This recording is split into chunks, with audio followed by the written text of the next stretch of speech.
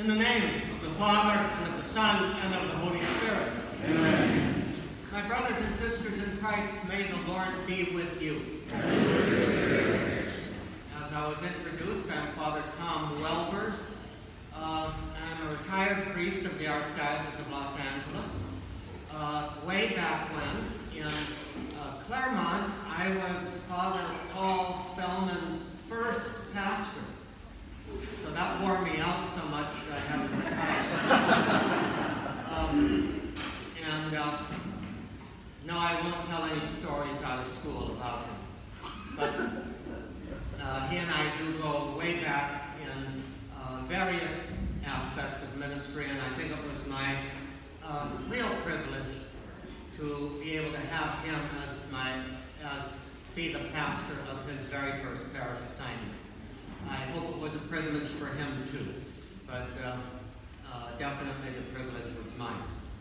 And I'm very grateful that he invited me to come here to celebrate this um, wonderful feast of the Holy Trinity, to explore just exactly what the Holy Trinity means for your life and my life.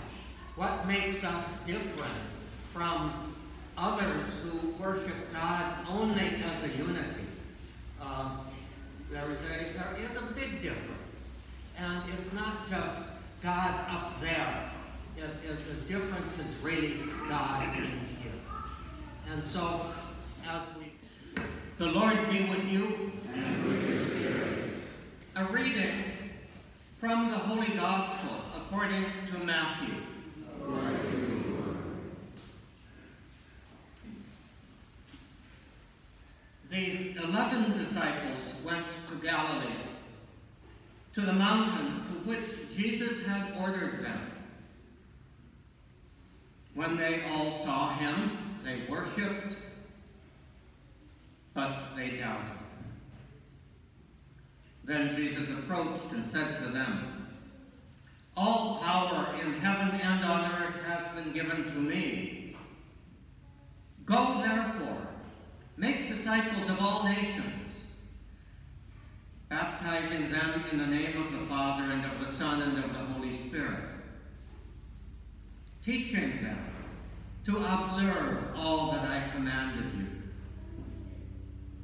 And behold, I am with you always until the end of the age.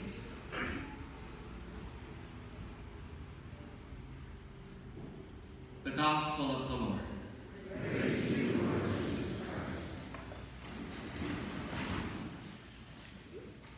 As I've gotten a little bit older,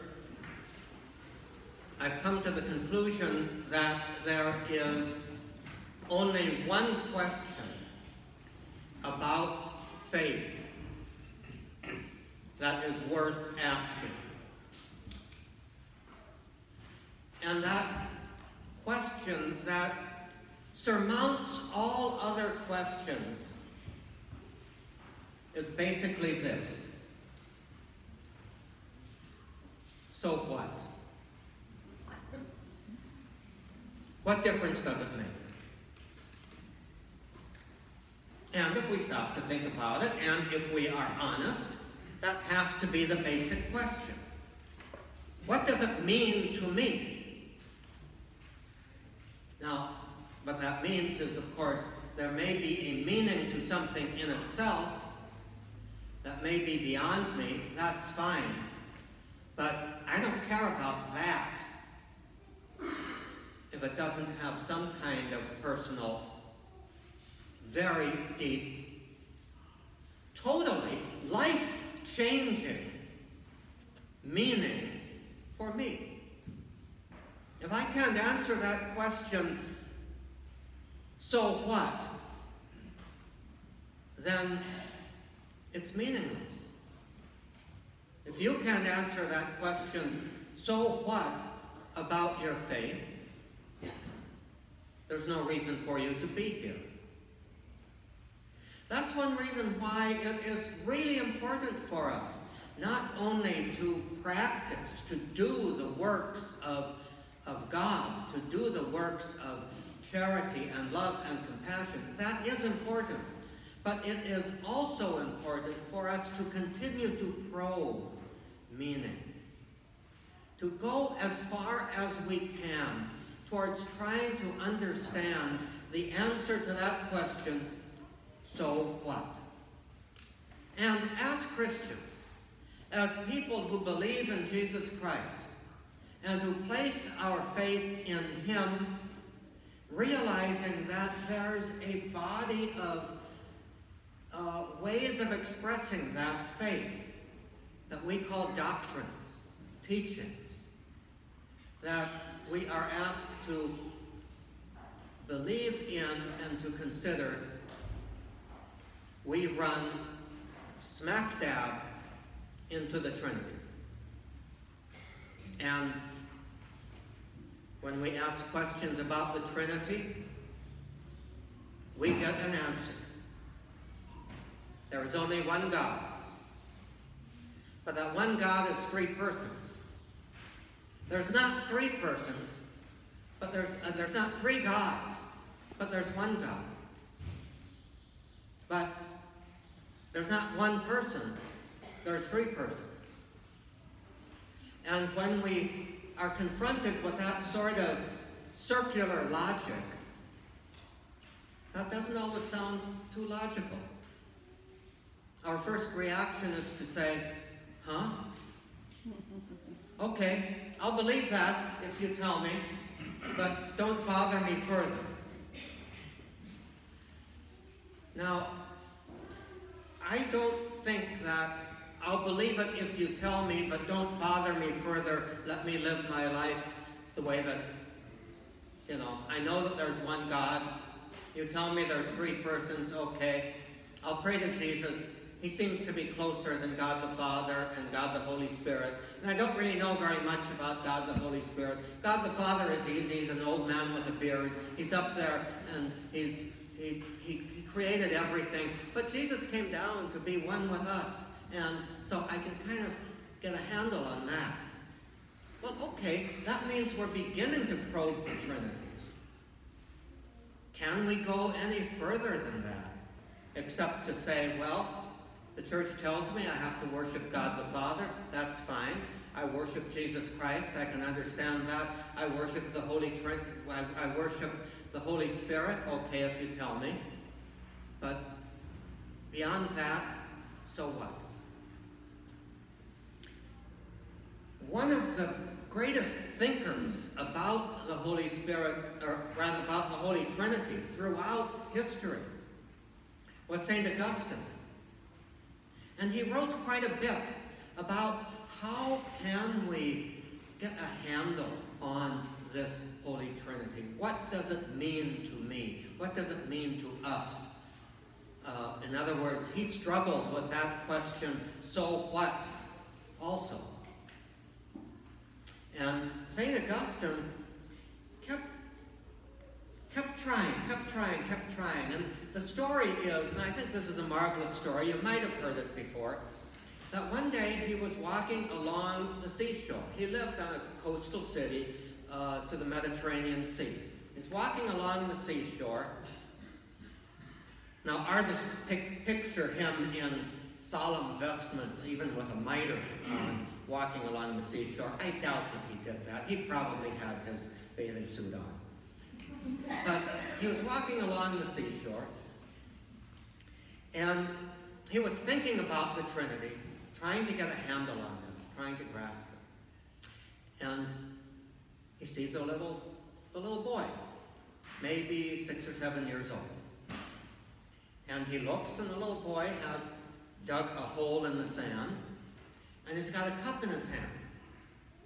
And he is going to the shore of the sea, picking up some water, puts it in the hole, goes back, picks up another cup of water, pours it in the, walks back, pours it in the hole, and that intrigued St. Augustine. What's he doing this for?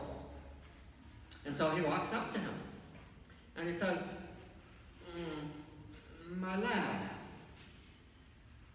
Sounds like an Irish accent, doesn't it? My lad, uh, uh, what are you doing? And he says, well, I've got this cup in my hand and I'm going to the sea and taking water and pouring it into the hole. In the tone of voice it says, well, what does it look like I'm doing? And St. Augustine says, well, why are you doing that? And he says, well, I want to empty that sea into the hole that I dug here. And Augustine looks at him, you know, you're crazy. Um, how can you empty that vast sea into that little hole that you dug? And the boy looks up at him and says, and how do you think you can understand the Trinity? Uh, there's a book that I read uh, many, many years ago. It had a deep impression on me. It was by a, an Anglican priest named J.B. Phillips. And this was back in the 1950s. Um, and uh, the name of the book was Your God is Too Small. And I think that expresses our very first problem.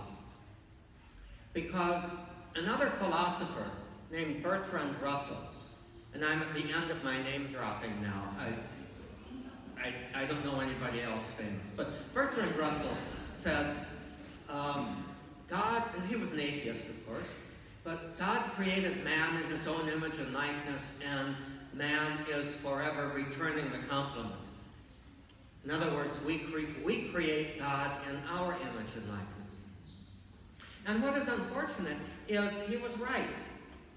Even the most devout among us have to have some kind of an image in our mind of the God that we worship. And that image is so very often, I mean, it, it, it has to be created out of our own experience.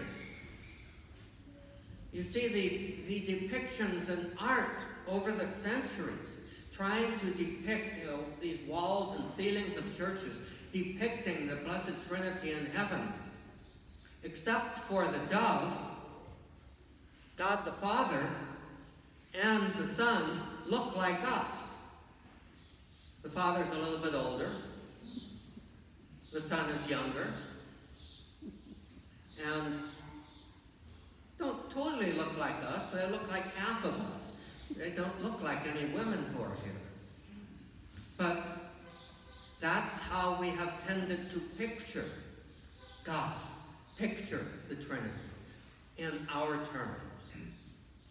Now, most artists, and certainly most theologians, I hope, say, okay, that's fine, that tells us a little something, but we really have to let go of the limitations and not try to create God after our image and likeness. Now, that means if God is infinite, anything that we can know about God, including the Trinity, anything that we can know about God is sort of like going down here to the Pacific Ocean, picking up a, uh, a cup of seawater and taking it back to our laboratory to analyze it. That tells us a lot about the seawater. It doesn't really tell us an awful lot about the sea. And I think our knowledge of God, including the Trinity, is sort of like that. Whatever we think, God is beyond that. Yet, God has given us a little bit of a glimpse in revealing the Trinity. How did we get to the Trinity? Well, we look at Jesus. And we listen to what he said, and look at what he did, and reflect upon that. And through a process that took about four or five centuries of thinking and praying and even fighting about it, we came to ways of saying, you know, we can't escape the fact that the way that Jesus talks about God as his Father, the way that Jesus talks about our relationship with God, the way that he talks about uh, sending the Spirit, that in some ways the three are one. And yet in another way the three are distinct. Okay? Then we look back at what Scripture says. And we discover that the difference, the distinction seems to be in relationship. How they relate to one another and how they relate to us. And I think the bottom line of the Trinity is this. The redemptive act of Jesus, restoring us to God's friendship, draws us into that nature of God, draws us into God's family, draws us into relationship with the three persons. As they relate to one another, so we relate to God. Now, to my mind, that makes it absolutely necessary that heaven be eternal. Because it will take us an eternity just to begin to probe that, to explore the reality of God. God is infinitely beyond our capacity to grasp, but he has opened himself up to our exploration. And he's given us a clue. We explore God not so much through knowledge. We do that. But what is more important than knowledge, we explore God through love. It is love that gives us an experience of God. Now, if we look at Jesus Christ as the sign of God's love, we know that love is not merely sentimental. It's not just an emotion. It's not just something that we feel towards somebody that we love. That's not unimportant, but that's not the essence of it. If we look at the love of Jesus Christ, the essence of love is self-emptying. We can get a, a sense of the, of the Trinity when we see God the Father emptying himself totally on behalf of the Son. And the Son emptying himself totally on behalf of the Father. And the Spirit being the embodiment of that self-emptying shared with us. And so how do we know God most perfectly as Trinity? By looking for ways that we can empty ourselves on behalf of others. When we love one another, St. John has taught so beautifully, when we love one another, we are images, we are signs of God. But it's not just feeling good about one another. It's not just loving those that we feel good about. It is emptying ourselves in imitation of Jesus on the cross. And that self-emptying, we know, was very, very costly. And we may run into circumstances, events, persons in our lives where we can taste something of that cost. The kind of cost that is the result of discipleship, the kind of cost that requires real self-emptying, even when everything in our being says, I don't want to do that. So, it's when we confront ourselves and one another in a spirit of self-emptying love, that's when we are beginning to know God.